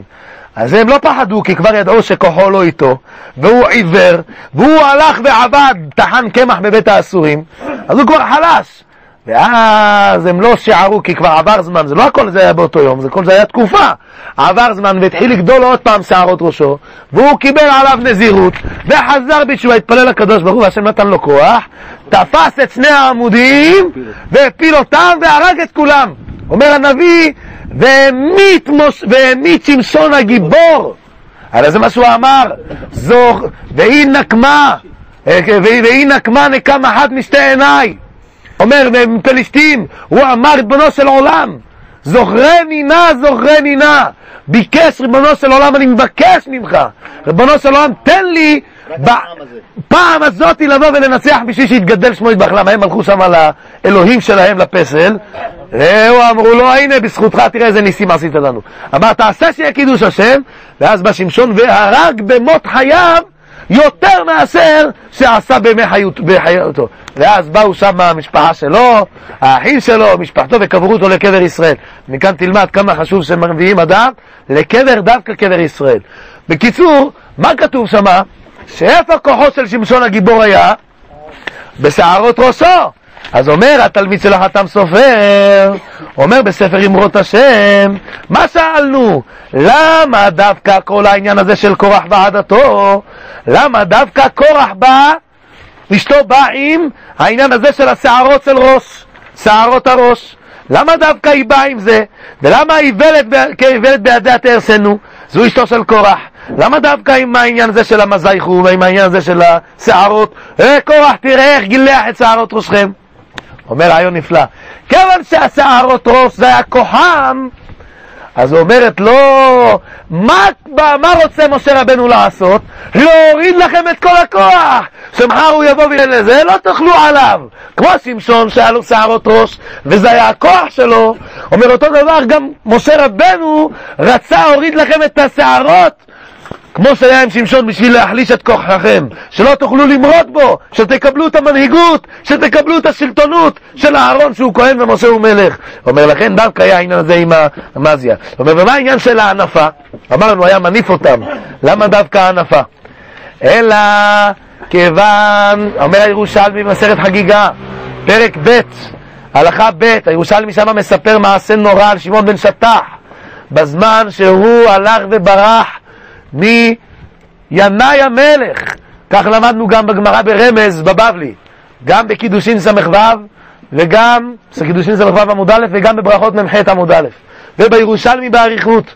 הירושלמי מספר שבאו שמה כשפים, שמעון בן שטח ברח, ובאו שמה שמונים נשים מכשפות, כי דרך נשים בדרך כלל שאין לך, לכן התורה כתבה, מכשפה לה תחיה. כך למדנו גם בגמרא בפסחים ק"י. כך למדנו במסכת סנהדרין, פרק ארבע מיטות, כך למדנו בכמה מקומות, שנשים בדרך כלל, בהם יש יותר מעשה כישוף יותר מגברים. בדרך כלל מצויים מכשפות יותר מאשר uh, אנשים.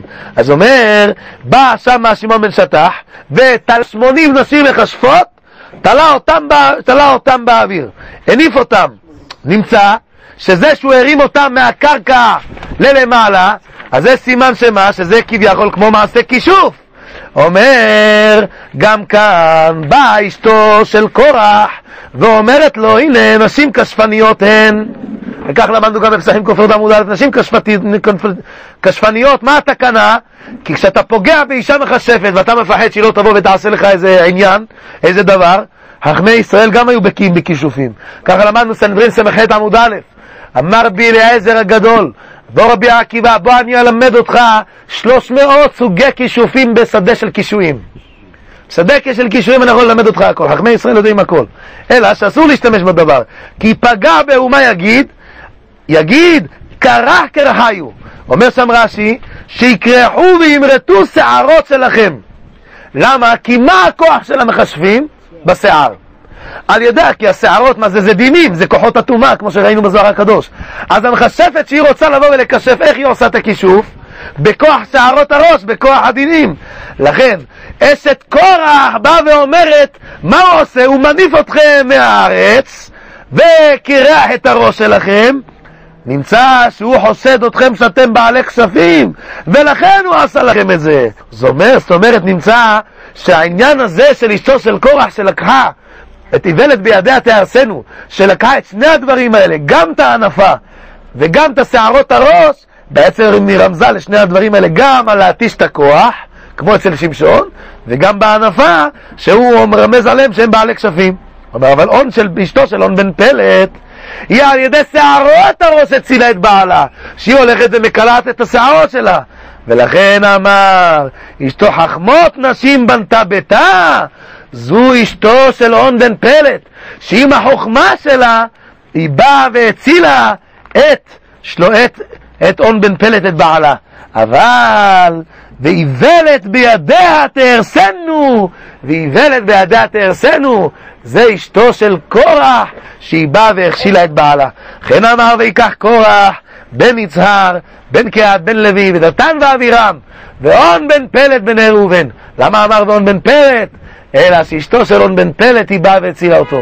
מכאן תלמד כמה חשוב שאדם יש לו אישה חשובה, כמה חשוב שאדם בוחר אישה, זוכר שיש לו אישה שהיא צדקת, כי אישה בונה ואישה הורסת, כי אישה יכולה להביא אותך לעולם הבא.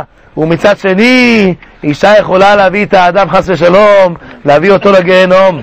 וזה מה שאנו פה. ויקח קורח. אמרנו, למה נסמכה פרשת ציצית לפרשת קורח? מה העניין? אז גם הטעם הפשוט שבגלל שהוא חלק עליו בגלל התכלת. אבל לא זו בלבד, אלא כי התרגום כותב, התרגום אומר, מה זה שם בסוף הפרשה כתוב? והייתם קדושים לאלוהיכם, אני השם אלוהיכם. אומר התרגום, מה זה והייתם קדושים לאלוהיכם? אומר התרגום יונתן שם בסוף פרשת שלח לך, אומר התרגום יונתן, והייתם קדושים לאלוהיכם, ענה הוא השם אלוהיכם, דיפרקית, כן? אה, מן בגלל דתדקרון על הפסוק למען תזכרו ועשיתם את כל מצוותיי, אומר, אומר התרגום יונתן, מן בגלל דתדקרון ותעבדון יד כל פיקודי, בגלל שאתם תזכרו ותעשו את כל המצוות, ותאבון קדישין ותהיו קדושים לאלוהיכם, מה זה לאלוהיכם? ותאבון קדישין, היי כמלאכיה. אתם על ידי המצוות תהיו קדושים כמו המלאכים, דמשמשים קודם השם אל האחרון, שהם משמשים לפני הקדוש ברוך הוא. זאת אומרת, נמצא שה, שעל ידי פרשת הציצית, על ידי שאנחנו עושים מצוות ציצית, נזכרים בכל המצוות כולם. מה זה מצוות הציצית? זו מצווה כל כך קלה שיש לאדם לעשות. שאדם יש לגד, ארבע כנפות, ושם לו ציצית. היום ברוך השם יש גופייה ציצית, עבר. יש גופייה ציצית גם היום. אדם קשה לו, חם לו, ישים גופייה ציצית. העיקר שילך עם ציציות בגופו, שזה אומר הירושלמי בן דרים דף י"ב, שכל מי שלובד ציצית, מעלה עליו הכתוב כאילו קיים כל תרי"ג מצוות. כך למדנו במדרש, מה שכותב, אמר משה לפני הקדוש ברוך הוא ריבונו של העולם, תן לנו אות, אות תפילין. אמר לו בישלמה ביום חול יש לנו תפילין, בשבת מה? הוא אמר לו יש את הציצית. אלעזר הקדוש כותב בשלח לך, שכל הקורא קריאת שמע ולא מניח, ולא מניח תפילין ביום חול, אז זה כאילו מעיד עדות שקר, ברכות י"ד עמוד ב'. אומר הזוהר הקדוש הוא הדין בציצית, שהכל הקורא קריאת שמע, אתה אומר ועשו להם ציצית על בגדיהם, אתה לא לובש ציצית, אז כאילו אתה מעיד עדות שקר. זאת אומרת, מעלת הציצית שהיא אות בינינו לבין הקדוש ברוך הוא. אומר התרגום יונתן, על ידי שאתה לובש ציצית, אתה נקרא מלאך, אתה בתואר מלאך השם. אומר לכן, ויקח קורח, מה ראה קורח לחלוק על משה ואהרון? מה הוא ראה פרשת ציצית? מה הוא ראה פרשת ציצית? אלא הוא ראה שבפרשת ציצית כתוב בתרגום יונתן שעשו להם ציצית, שמי שלובש ציצית, מה הוא נקרא? הוא נזכר בכל המצוות, נקרא מלאך.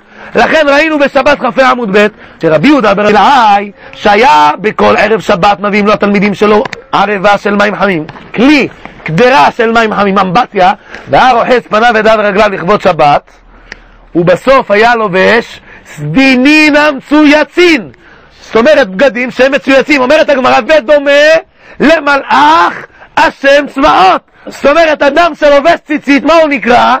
מלאך. הוא נמשל למלאך. וכן ראינו אצל אהרון הכהן, שגם הכהנים נמשלו למלאכים. איפה ראינו?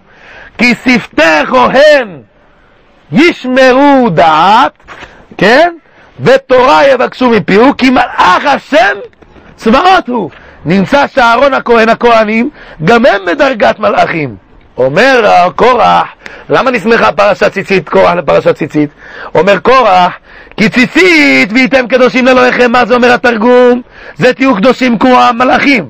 אז מי שלובש ציצית, מה הוא נקרא? בדרגת מלאך. אומר נמצא שכל העדה, כולם קדושים. כל העדה לובשים ציציות, מה זה קדוש מובדל, מופרש, כמו מלאך? אומר לכן, רצה להגיד להם, על ידי שכולם לובשים טליתות של ציציות, כולם לובשים בדרגת ציציות, כמו מלאכים, אז מדוע תתנסו? למה אתה לוקח את הכל לעצמך, את כל הקרדיט? אתה לוקח מלוכה, ואהרון לוקח כהונה. כהונה? מלאך. גם אנחנו, כל העדה, כולם קדושים, כולם מלאכים. לכן נשמח פרשת ציצית לפרשת קורח. לרמוז לך שמאיפה הוא למד את זה? מהפרשת הציצית.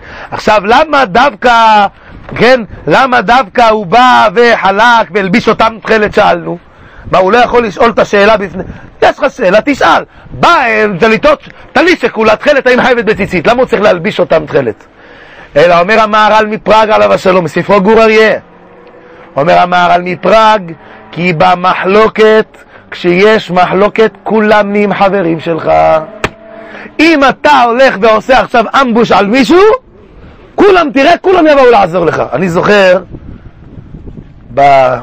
באחד מהמקומות שלמדנו בצערותינו, ממש בבחרותי, אז היה שמה, כיתה החליטה לעשות אמבוש על בן אדם. היה סך הכל ריב, וזה דבר שמצוי בהבנות. חבר עם מישהו, עם חברו, לבנתיים, מיום ליום, המריד את כל הכיתה, עשו עליו חרם. לא חרם רגיל, חרם דרבנו גרשו אומר לגולה, עשו עליו חרם, חרם! באו ועשו תמונה, צילמו את אותו בחור כשהוא ישן, במיטה, כל הכיתה באו, הלך לישון בלילה, כל הכיתה נשארו, שמו עליו פלפל על האף, והוא ישן, צילמו אותו, ואז העירו אותו וכולם עשו עליו משחק, ואחרי כמה, ואחרי כמה ימים הביאו לו גם את התמונה, שמו לו את זה בגמרא. בושה וחרפה. וזה ממה? מבחור אחד שסך הכל לא הסתדר איתו, עשו עליו, ברוך השם, אני לא הייתי מאותם אלה, אבל השם הצילנו, כולם עשו עליו אמבוש, כולם עשו עליו זה, ועד היום אני יודע אישית שאותו בחור הוא בצער מזה, פעם לא מזמן, כל כך בצער מאותו הדבר, ואיך ממחל על כזה דבר? לא פשוט בכלל. כשיש מחלוקת, תדעו לכם, כולם נהיים חברים. כך אומר המהר"ל.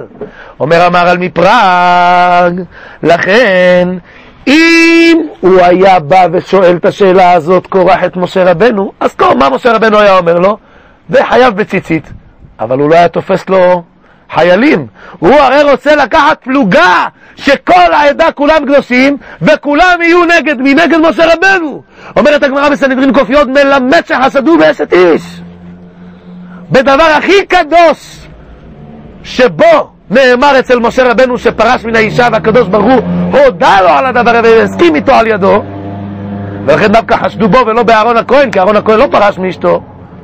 וזה אחד מהשלושה דברים שהסכים הקדוש ברוך הוא על ידו כמו שלמדנו בשבת פ"ז אומר אותו משה רבנו בא קורח ומלביש 250 סנהדראות, מלביש להם טלית תכלת. אומר המהר"ל, למה? בשביל שיצליח להילחם איתם. איך הוא יצליח להילחם? באיזה כוח הוא יצליח להילחם? אלא בזה שהוא מלביש להם תכלת, פתאום בבוקר כולם הולכים, 250 איש, קורח ואנשיו ועדתו, כולם עם תכלת לובשים, טליתות, ובאים למשה רבנו, כולם רואים 250 איש, כבר זה משמעותי, כולם מרגישים, כולם רואים 250 איש. ואז אומרים, איפה אתם הולכים? הולכים למשה, למה? לשאול אותו את השאלה הזאת. ואז הם הצטרפו להם, לשון המהר"ל. וידעו הכל, כי אשר חלה קורח על משה, כי קורח היה, כי קורח, כך אומר המהר"ל, כי קורח היה מעוניין, כי הכל ידעו ממחלוקתו עם משה. ואז הצטרפו רבים למחלוקת, ומוסיף המהר"ל פלא עצום, משום שאין לך דבר שנמשכים אחריו כמו המחלוקת. אומר המהר"ל, הדבר הכי הרבה שמושך אנשים זה המחלוקת, ולכן הוא דווקא בא והלביש אותם והראה להם. עכשיו, מה שאלנו? למה הוא אומר בן יעקב? אז לא, הוא לא התפלל, הוא לא אמר בן יעקב, למה? כי יעקב התפלל. אבל אמרנו, מה יעזור התפילה של יעקב? בו בזמן שכולנו יודעים שהוא הרי בן גם של יעקב אבינו. אלא, אומר המהר"ל בגור אריה, אומר אלא ידוע שהרי אברהם אבינו יצא ממנו ישמעאל, ויצחק אבינו יצא ממנו עשיו. יעקב אבינו מיתתו הייתה שלמה. כך למדנו בפסחים נ"ו עמוד א', כך למדנו במדרש רבה ויחי, וכך ראינו ברמז במסכת פסחים קי"ט עמוד ב', ועוד. מיתתו של יעקב אבינו הייתה שלמה. הנה מיתתו של שלמה שישים גרועי סביב לה, הכל היה אצלו, הכל בקדושה ובטהרה. אבל אברהם ויצחק יצא מהם פסולת. זאת אומרת, נמצא שלפעמים גם מאדם צדיק גדול יכול חס ושלום לצאת, כבשה שחורה יכול לצאת עץ אה, פסולת. אומר המהר"ל, התפלל יעקב אבינו ואמר ריבונו של עולם, בבקשה ממך שהפסולת לא תיזכר אצלי. נכון שיוצא קורח, אבל שלא יתייחס אחריי. למה? שאת הפסולת של הרשע שחולק קורח על משה רבנו, זה לא יהיה ממני, שיהיה מיצהר, שיהיה מקהת, שיהיה מלוי, לא ממני. אני, למה? כי מיתתי שלמה. לכן הוא לא רצה שיהיה כתוב בן יעקב. אבל רבותיי, יש פלא פלאות, פירוש נפלא. אומרים אותו הרבה מן המפרשים, גם אני הקטן אמרתי אותו, ועוד מהמפרשים, הרבה מפרשים אומרים את אותו חידוש, כל אחד לא ראה את השני. אומר כך, כתוב אצל משה רבנו, בקללות בפרשת בחוקותיי, כשהוא בא ואומר ומוכיח את עם ישראל, פתאום באמצע הקללות, פתאום הוא נזכר להזכיר את זכותם של האבות הקדושים. וזכרתי את בריתי יעקב, ואף את בריתי יצחק, ואף את בריתי אברהם אזכור. מה קרה? והארץ אזכור. מה קרה פתאום אתה מזכיר את הזכויות של האבות הקדושים באמצע הקללות? מה הקשר בין הדברים? אלא הכוונה שמשה רבנו, כך אומר השלה הקדוש, למה הוא מזכיר את זה? אלא הוא רוצה לומר שבתוך התוכחה של הקללות הוא דווקא מזכיר את זכותם של האבות הקדושים, שהאבות הקדושים לא התייחס להם הדבר הזה, פירושם של דברים. ברגע שאתה יש לך סבא גדול, שומע תומר? ברגע שאתה יש לך סבא צדיק, אתה יש לך גזע קדוש, יש לך משפחה מיוחסת, איזה אבא, סבא, סבא רבא, גבאי, צדיק נסתר, מקובל, איזה רב, איזה דוד, משהו, זה מחייב אותך יותר?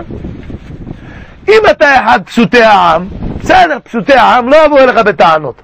אבל אם סבא שלך היה רב גדול, וסבא של אבא שלך היה רב גדול, אז זה מחייב גם אותך, אומר דורשני, שגם אתה צריך לצאת איזה אחד, איך אומרים? שהתפוח לא ייפול רחוק מהעץ, שלא יהיה ריחוק גדול בין התפוח לבין העץ. אומר, לכן בקללות נזכר שם בתוך התוכחה, אומר השלה הקדוש, נזכר שם האבות הקדושים, אל תזכור להם את ה... בתוך הקללות, וזכרתי את ברית יעקב.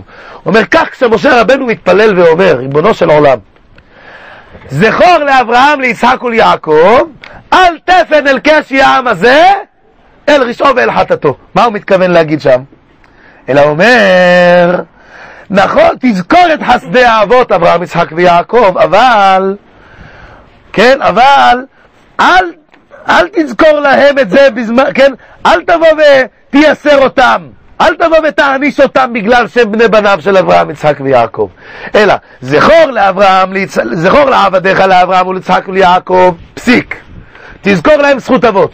אחר כך, אך אל תפן אל קשי העם הזה אל ראשו ועל חטאתו. כשאתה רואה שהם עושים קשיים, כשאתה רואה שהם עושים דברים רעים, אל תפן לזכות אבות שלהם. זאת אומרת, אל תזכור להם שהם בני אברהם, יצחק ויעקב, ואז תעניש אותם בגלל שיש להם אבות קדושים. אומר אותו דבר גם פה.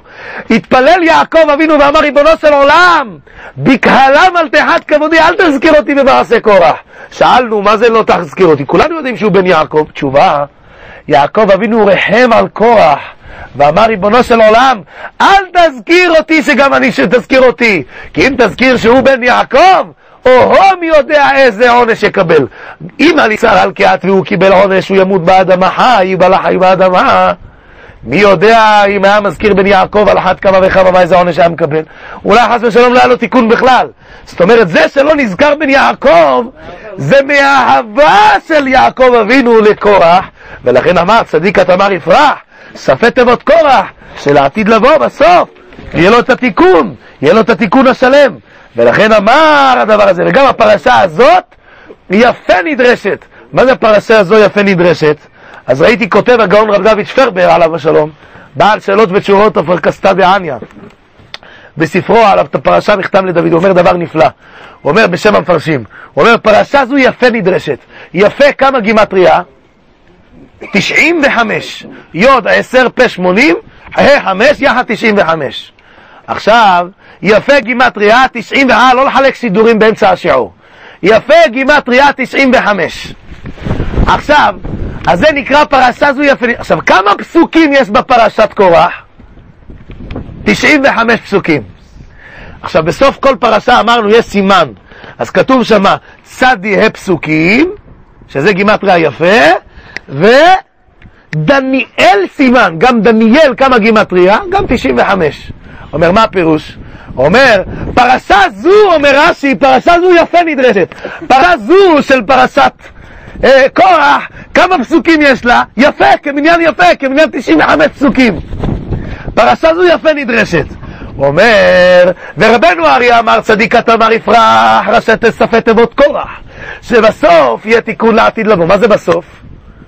שיתעלה שם הוויה לשם יוד, שיתעלה, שיהיה חיבור של שילוב שם הוויה עם שם הדנות. שם הדנות, איך כותבים? אות א', אות ד', אות נ', אות י', כמה גימטריה? 65. ועוד שם הוויה, י' כו' כמה גימטריה? 26. 26 ועוד 65, כמה גימטריה? אה? 91. אבל העתיד לבוא, יהיה השם אחד ושמו אחד. שם הוויה לא יהיה י' כו' אלא יהיה י' כ' י' כ'. זאת אומרת, שם הוויה יתעלה לי' כ' י' כ', אז יהיה לנו עוד ארבע, כמה גימטריה? זאת אומרת, יהיה עדנות, כמה גימטריה? 95. אומר, צדיק התמר יפרח, לעתיד לבוא, שיהיה, שיהיה שילוב הוויה עדנות, שיהיה הוויה, שיהיה עדנות, שזה יהיה גימטריה יפה, אז יהיה התיקון השלם, אז יהיה תיקון לקורח, ולכן פרשה זו יפה נדרסת, יפה, שזה לעתיד לבוא, אז יהיה התיקון השלם של קורח. אומר, ולכן הסימן הוא איפה? סימן של הפרשה כתוב בסוף, דניאל סימן. למה דניאל? כי בדניאל כתוב, ואתה לך, ושם כתוב כל, ה, כל הסודות של הקץ. קץ, תעמוד, הקץ, תעמוד אה, לקץ הימין, תעמוד אה, גורלך לקץ הימין. מה, אתה תעמוד גורלך לקץ הימין? מה זה קץ הימין? אומר המדרש, זה קץ המשיח, זה קץ הגאולה, שאז זה גאולה המוות לנצח. אומר, ולכן זה רמוז גם בסוף הפרשה, כתוב בסוף הפרשה, ולא תמותו חיים עד העולם. זאת אומרת שלעתיד לבוא, שאז יהיה חיים הנצחים, אז יהיה התיקון השלם. לכן אמר, ויקח כוח בן יצהר, מה זה בן יצהר אמרנו? בן יצהר כמו השמן, שהשמן הוא לא מעורבב בכלל. לכן אמר, ויקח קורח בן יצהר. אחרי זה אמר, בן קהת. ואחר כך אמר, בן לוי. עכשיו תשמע דבר נפלא, אומר החתם סופר. יצהר, יצהר, כמה גימטריה יצהר? עמי, כמה גימטריה יצהר?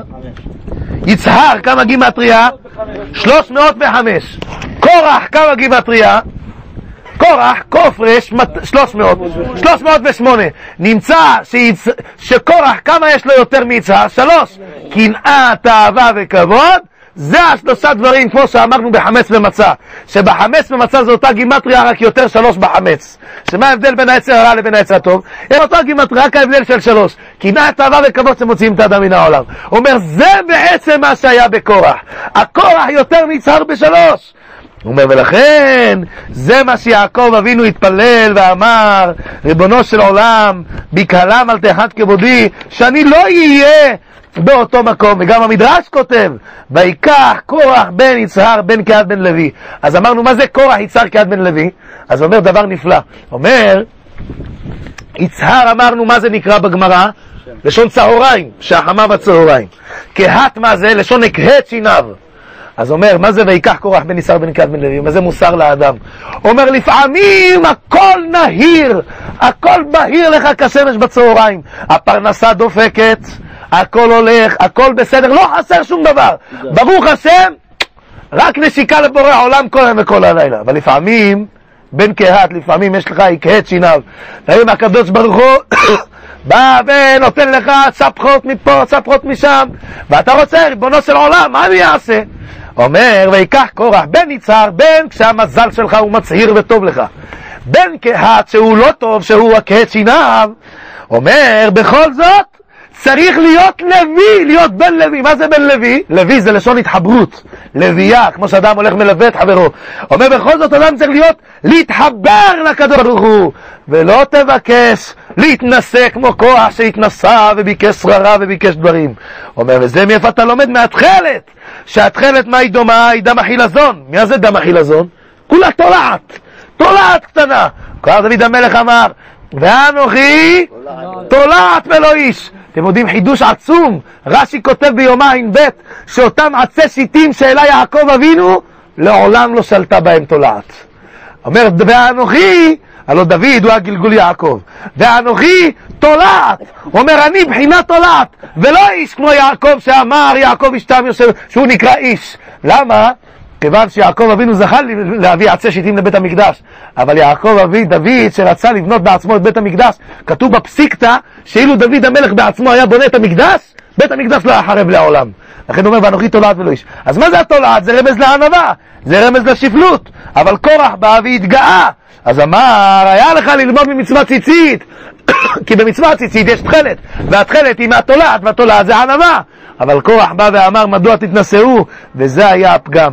הפגם של קורח היה שהוא לא בא ולמד את זה מהציצית. ועוד, כתוב שיש קליפות. יש כל מיני סוגי קליפות. יש קליפה שנקראת לארי. למד רוש רש יוד. היא אותה קליפה, חס ושלום, שורה על אדם, השם ישמור השם יציל, שמבא שיחה עם נשים. זה קליפה שממונה על הזנות, השם ישמור השם יציל. היא מתחברת לאדם, השם מרחם, השם יצילנו. אומר, איפה היא רמוזה? היא רמוזה בציצית. למה? כי כתוב אצל הציץ, כתוב, כתוב שהוא בא והולך ומספר עם אשתו, קורח יושב ומדבר איתה, והיא מספרת לו סיפורים, ואומרת לו קח את התכלת, מה הוא עושה לך? זאת אומרת, הוא הרבה שיחה עם אשתו. כיוון שהוא הרבה שיחה עם אשתו, הוא בא ושלט עליו אותה קליפה, ואותה קליפה באה והוא לא, הוא לא לבש ציצית, אם היה לובש ציצית, הייתה אותה קליפה מצילה אותו, כי למדנו במנחות מ"ד בסיפור הגדול שם שהגמרא מספרת שהציצית באה ומצילה את האדם מענייני, בקדושה. אומר, מפריצות. הוא אומר, לכן, בא כוח, בן יצהר, בן קהת, בן לוי, ודתן ואבירם, ואון בן פלט, בן נר ובן. ולמה אמר ויקח לשון יחיד?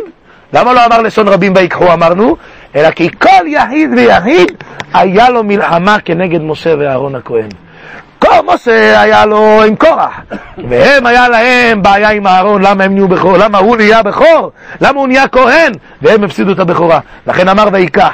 ועוד, ויקח קורח, זה רומז לך, זר הקדוש כותב, ויקח קורח מלמד שחלק על השבת, ועוד, שהקורח זה שהקורח היא באה ולוקחת את האדם ושמה כל אחד ואחד לעצמו וכמו שפה מעריך החתם סופר בתורת משה ואומר שכל אחד היה לו סיבה מיוחדת כל אחד למה לחלוק על הצדיק, לחלוק על משה ואהרון הכהן. וזה כל דור ודור בכל דור ודור עומדים עלינו לכלותנו בכל דור ודור אדם צריך להתפלל לקדוש ברוך הוא שיציל אותו מן המחלוקת.